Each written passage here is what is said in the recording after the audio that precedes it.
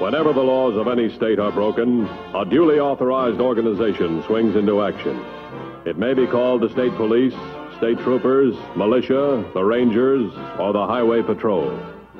These are the stories of the men whose training, skill, and courage have enforced and preserved our state laws.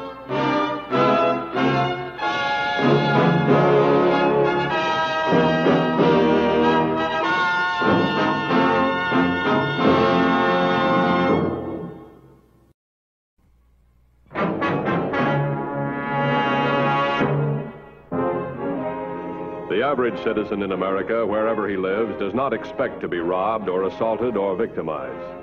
And the average criminal, although his chief weapon is surprise, usually does the expected after his crime. Usually he is quickly caught.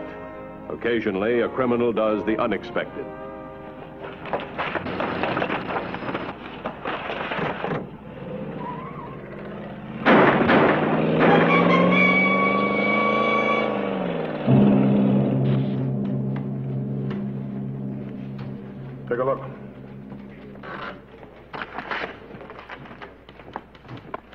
All right, let's see. Here's Crestdale. Suspects are heading west. We'll set a roadblock up right here in the west. In case they double back, we'll set one up in the east end of town, right here. Get these orders out right away. Right. Alert all units. Look for three men in a black sedan. I'm going to Crestdale.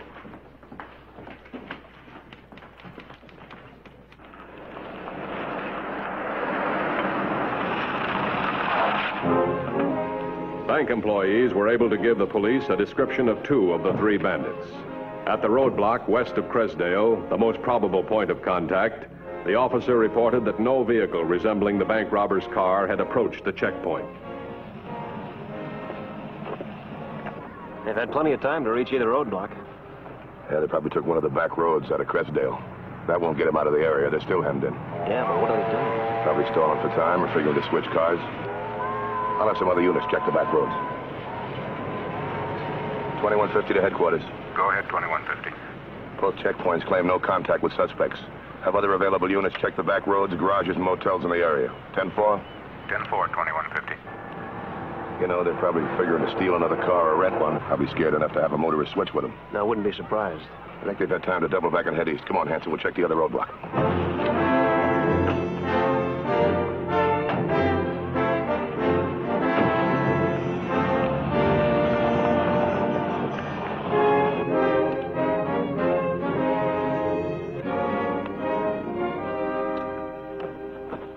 Stuffing yourself, Curtis, and get into this fast. I'm ready.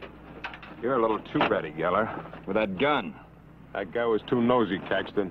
He looked like he was getting ready to do something. You heard Lorber's orders. No gunplay unless we had to.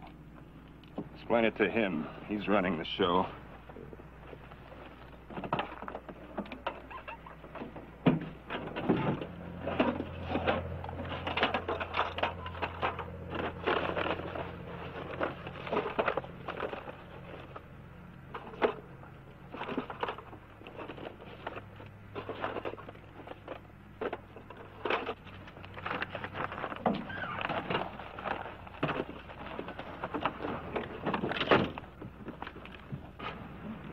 These clothes in the brush, away from the car. Now, back to the highway, and after we cross it, we're in the clear. It's a mile to the beach. We've got 18 minutes. Let's go.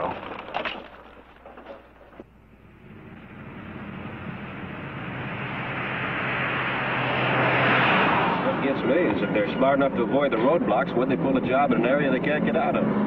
1430 to 2150. 1430, that's that. 2150 by. Go ahead, 1430. 1430, I believe I've located the suspect's vehicle on Dry Creek Road, half a mile north of the main highway. And it's apparently abandoned. I'd use caution. The suspects might still be in the area. But check the registration and all stolen info on the vehicle. Alert all units in your sector. Have them search the Dry Creek Road area. You stay with the vehicle. I'll be right there. 10-4? 10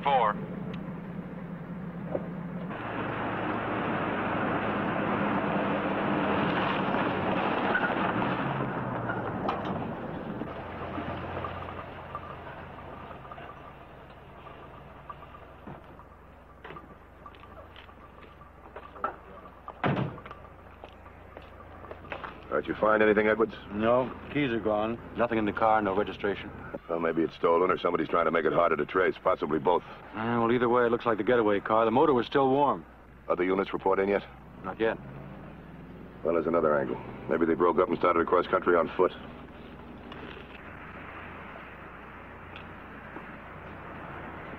That's must have rolled there after the car stopped. Otherwise, it'd be crushed. Bank robbers dropped it. That what you mean? It could be. There's a lot of smudges on it. We'll have the lab check it for prints. We'll have the car check for prints, too.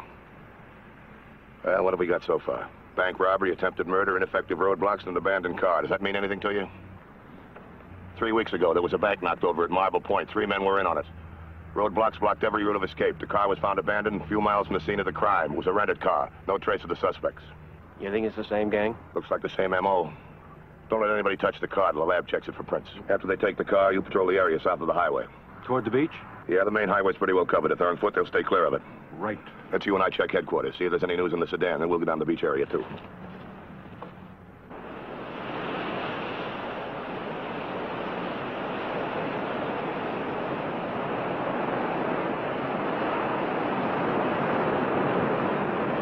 Perfect. Now to soul around. Yeah, and there's the boat. Right, set up those poles and make like fishermen. Why bother? There's nobody around. Do what I tell you. Lorber won't bring the boat in close until we signal all clear. You know, we're getting a better break here than we did at Marble Point. The water's not so choppy. Give me that pole.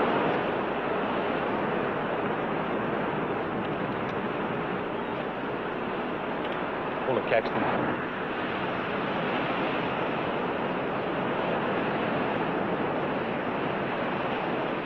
Ah, we'll have to stall till it goes away. Act busy.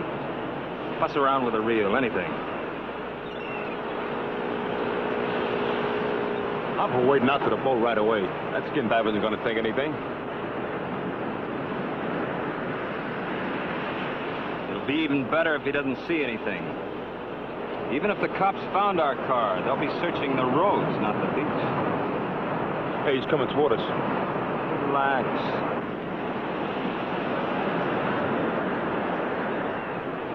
Afraid you guys picked a bad spot for fish. That right? I ought to know I've been out there. Probably I scared them away. Tell you what, though, there's a pretty good place to fish around the point, about a half a mile. You'll know it when you get there. There's several fishermen just pulling them in. Thanks for the tip. You're, uh, you're through for the day, huh? No, I'm gonna have a smoke, then go out again. Out beyond where that boat is. Say, uh, isn't it pretty dangerous going skin diving alone? Oh, not when you're careful. The thing you gotta look out for is the seaweed. A friend of mine got tangled up in it last spring, but we went down and got him loose. Well, what do you know? No danger, really, as long as you're careful.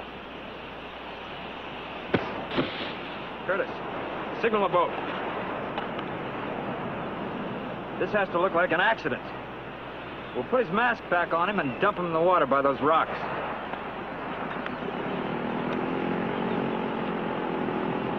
If they find him, it'll prove I was right. It is dangerous to go skin diving alone.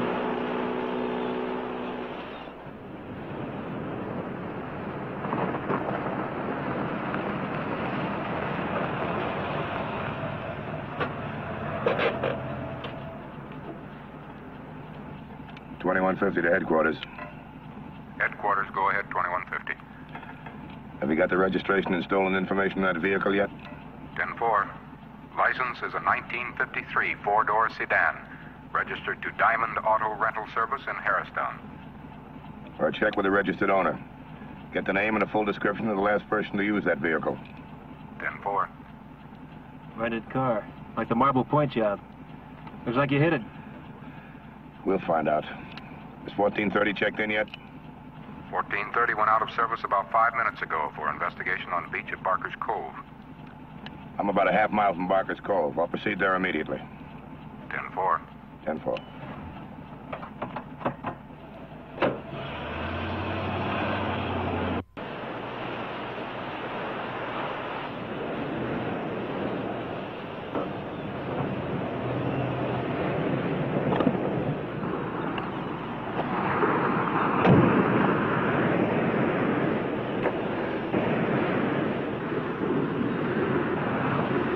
wait here.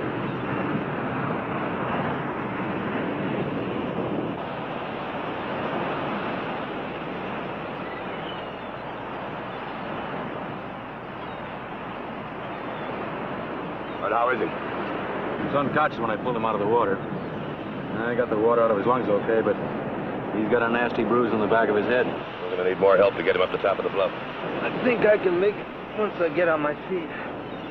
You I thought he hit his head on one of those rocks out there, but he says three men jumped him. That's right, fishermen. And for no reason. You see anybody else on the beach? Oh, it's completely deserted.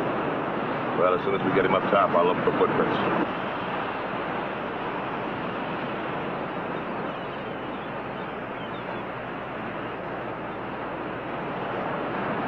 Is this yours? I think I think one of the fishermen was eating out of it.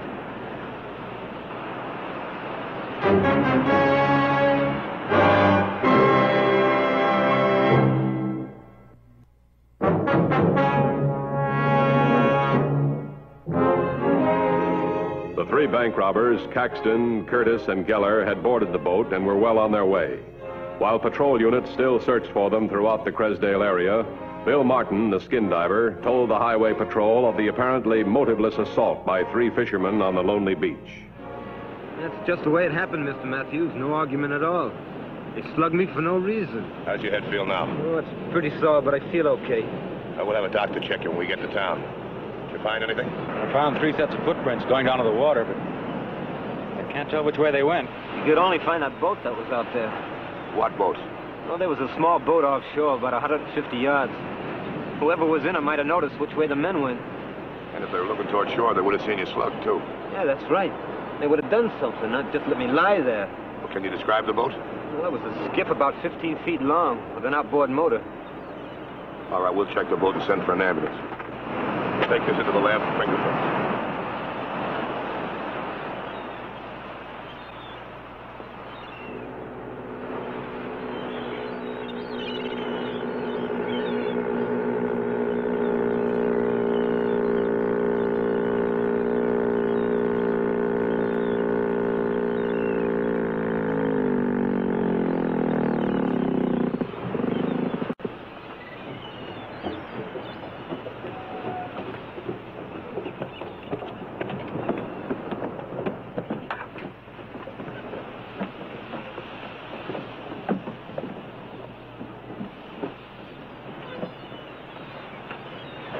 I'm for getting right to the car. We're staying right here until everybody on the pier has a chance to forget we came in on a boat. We're not in any hurry now. We don't want anybody to think we are. Sure, Logan. Geller, you and Curtis stick close while I brief Caxton on the next job. The next job? Yeah. It's the bank at Fairgrove, and we're working it right away. Right. So soon? And so close to Crestdale? It'll work in our favor.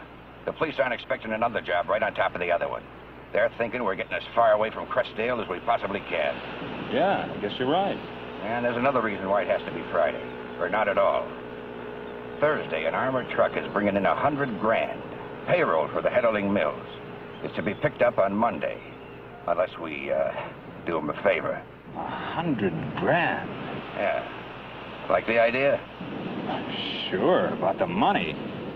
But can we get away with it? Why not? We did it at Marble Point and in Crestdale.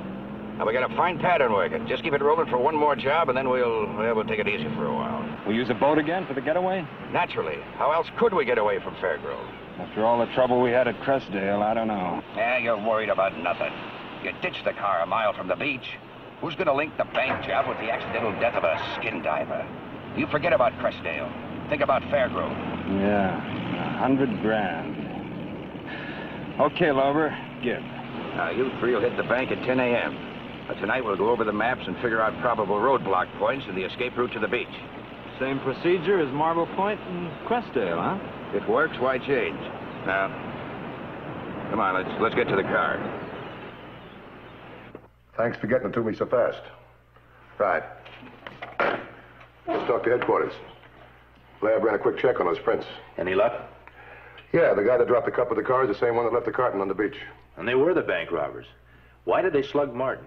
Well, the only thing that makes any sense is they were trying to cover their getaway. They didn't want Martin to see him wade out to the boat. Now, that figures. No point hitting Martin if they were just going to walk up the beach. So now we know. Next time they try it, we grab them. You think they'll try again? Look, they got a good thing going for them. They have no idea that we know they're getting away by water. So the next time they try, we're ready. That's a long coastline. How can you tell where they're going to hit?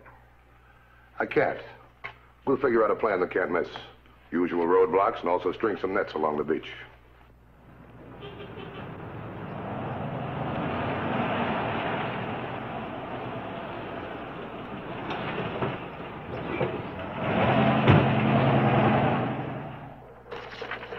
How about this? We didn't have to wait long. It's Fairgrove. So near Crestdale. Yeah, these guys are in a rut trying to take on Banks. We got the roadblocks figured for Fairgrove, haven't we? All right, set them up. Dispatch all available units to points along the beach near Fairgrove. Right. Oh, one more thing. Get in touch with the Coast Guard. Tell them they might have to patrol offshore. Anything comes in, get it to me fast. I'll be in Fairgrove. Slender, probably of small stature. Use caution. These men are armed. Attention units 2119, 4210, and 3116. Proceed to the ocean front at the following points.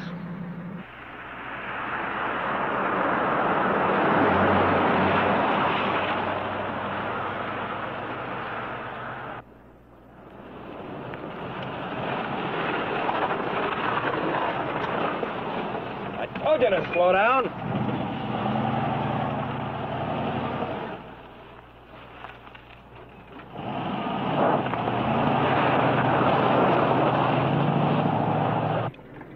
Fourteen thirty to twenty-one fifty. 2150 by. Fourteen thirty. I've just spotted a car that matches the description of the Fairgrove bank robbery car. It just turned off into Crescent Road from the main highway. Waiting instructions. Proceed with caution. I'll have 1810 block the other end of Crescent Road where it joins the highway again.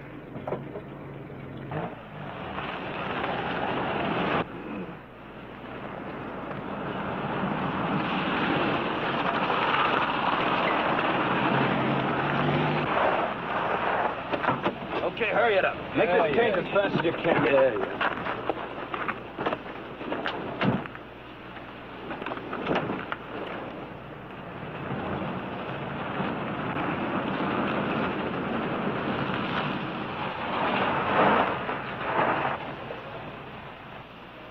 Fourteen thirty to twenty-one fifty.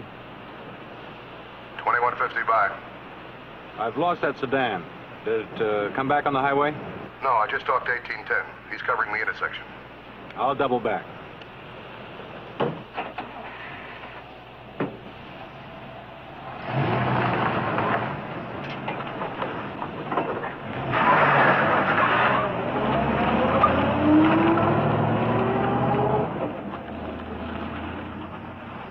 Through that brush to the beach. It's only a few hundred yards.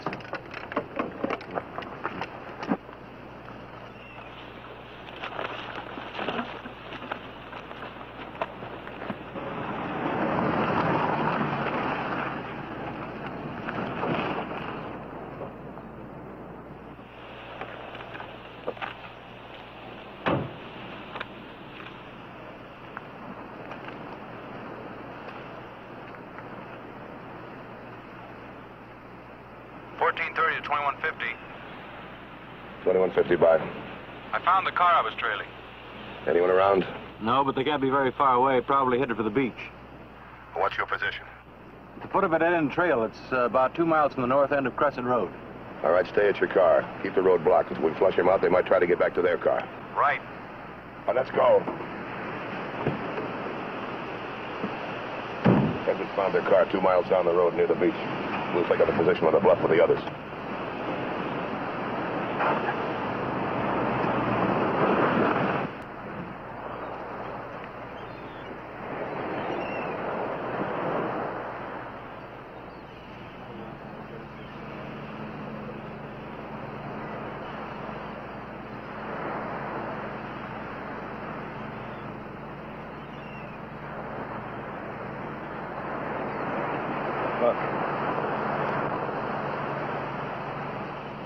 Nice break, except for those kids. There isn't a soul around. That's the boat.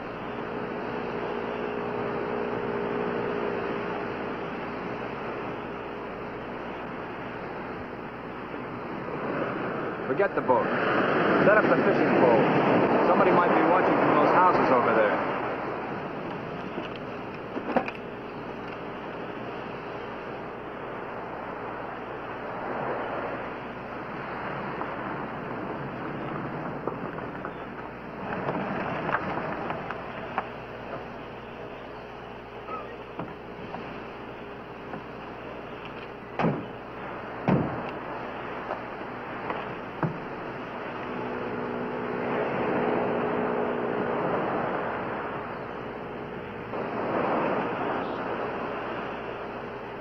They're going to head for the water as soon as that boat gets in close. That doesn't give us very much time. They wouldn't hesitate to use those kids for shields. We got to get them out of there. How do we do that? I'm going down there. You know, with miles of beach to play in, those kids certainly picked a fine spot. All right, you tell Roberts to get over here as quickly as possible. No gunplay. Till we get the kids out of the way. Get the rifle out of the back. They might make a break for it before we get in close.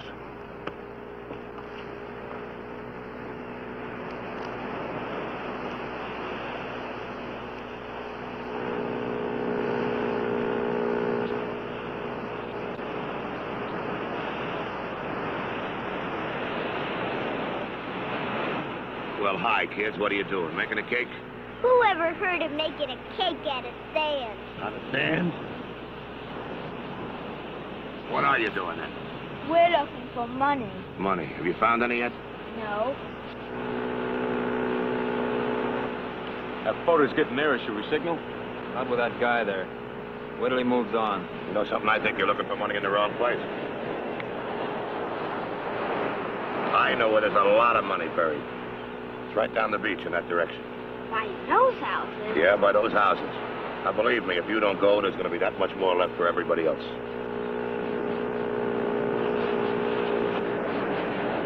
Here's what I'll do with you. I'll make a deal with you. I'll buy this sim from you, then I'll go back. No. Let's go, Kenny.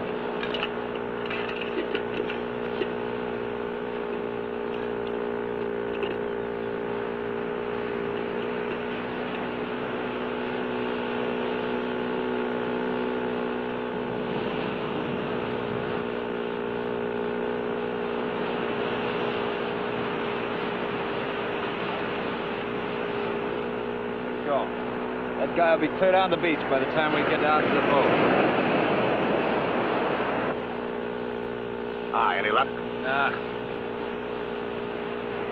All right, hold it. Drop your gear.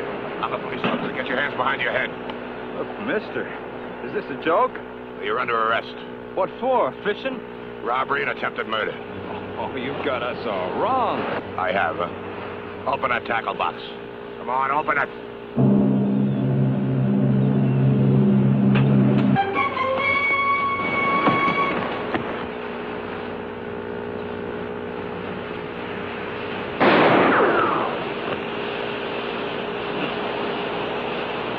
All right, on your feet. All right, get over there.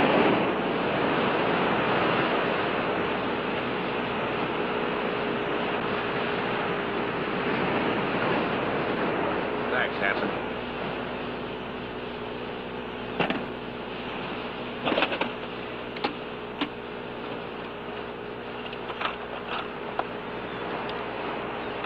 It's nice bait these guys use.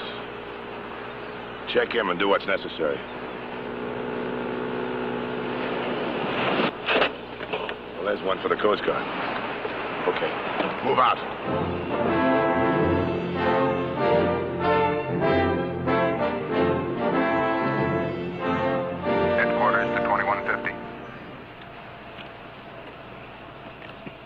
2150 by. The Coast Guard advises that one of their cutters picked up a man in a boat a mile off Fairgrove.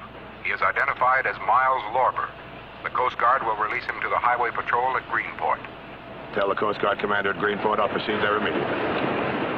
It's a great day for the beach. Yeah. Yeah, it sure is. You know, I envy those kids. I hope they find something. Let's go.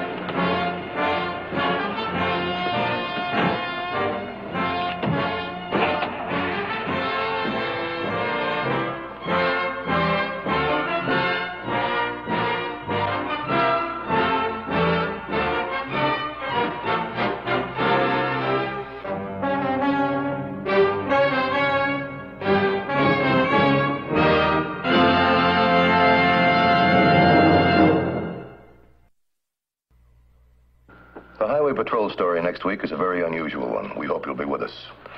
Until then, remember, it isn't the car that kills, it's the driver. This is Broderick Crawford saying see you next week.